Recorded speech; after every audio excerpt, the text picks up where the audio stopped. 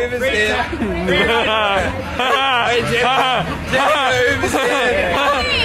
Jenny! Jenny, Uber's here! Jenny's Uber's here! It's Jenny's Uber! Jenny! Get in the Uber!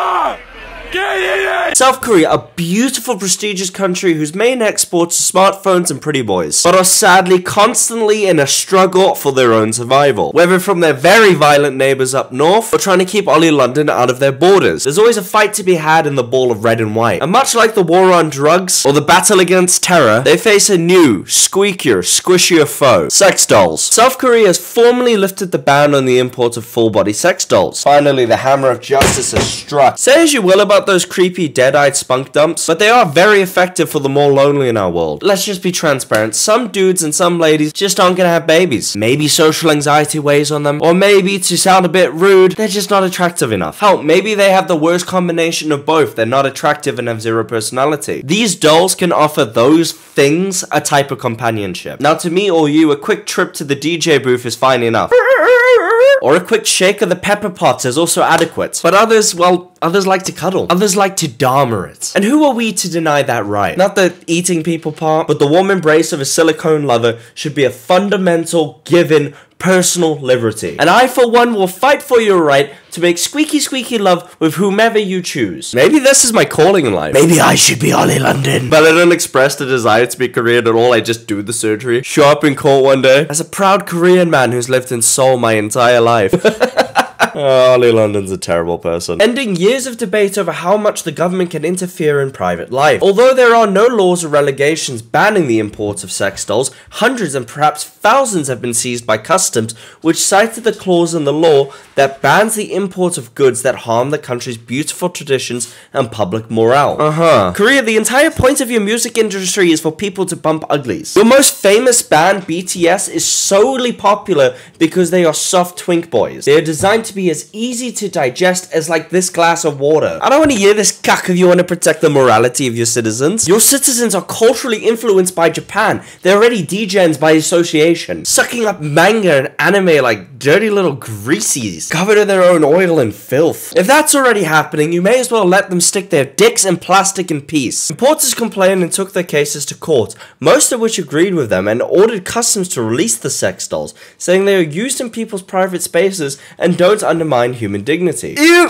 Ew, dude, no, no. If I'm caught doing something embarrassing and then I have to go to court to explain the thing that I'm doing and why it isn't illegal, I wouldn't even bother. It's just like when I got that court summons for that nature park misunderstanding. I was just petting that deer, by the way. Well, it's like that because I know I wouldn't want to go to the court and plead why that doll should belong to me. It kind of gives me that vibe of when you're a kid and an adult was mean to you. So you tell your parents and they make you hold their hand while they go yell at that other adult and force them to apologize to you. And you still feel embarrassed even though you've done nothing wrong. Well, it's kind of like that, but the manufacturer is your mother. You are the child and the hyper-realistic Margaret Robbie lookalike with the Gorilla Grip 3000 built in and the remote activated hand flesh doll is the ball that you kicked into that neighbor's yard. It's pretty much the same thing. On Monday, the Korea Customs Service said in a statement that it began enforcing a revised guideline for the importing of life-size adult sex dolls. It said it reviewed recent court rulings and opinions from relevant government agencies, including the Ministry of Gender Equality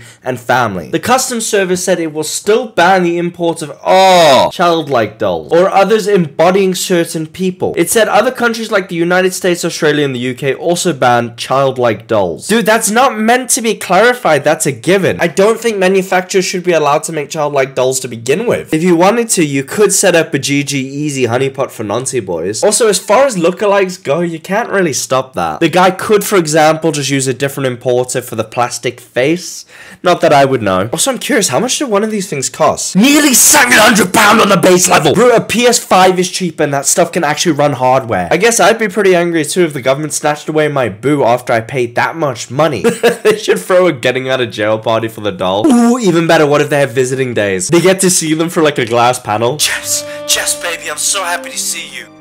You're so cute putting on that brave face. I got our son, Jess. It's a boy. He's from Toys R Us. Well, the decision reflects South Korea's slow yet gradual moves to restrict state interference into personal lives. Some women's rights and conservative organizations will likely again voice their opposition to the use of sex dolls. They say they deepen sexual objectification of women and undermine public morale. I mean, I don't hate that argument. Some men would get the wrong impression of what's appropriate to do with a real life woman, especially if they're socially inept to buy one of these slivery sleuts. But if that was a valid concern, you would outlaw as well. And then offer an alternative to those things to help these men, you know, to put them on a healthy path. It's all well and good saying that these guys are gross if that's the way you feel, but what are you doing to help them? They still have needs. You need to start some sort of social program. Otherwise, now you've taken away their outlets to express their goopy desires. So what's left for them? Let's just say if you have a social pariah who can't get any num num, who's been told by his government he can't find any form of intimacy in inanimate objects, and then outright ban the video outlet that allows him to release his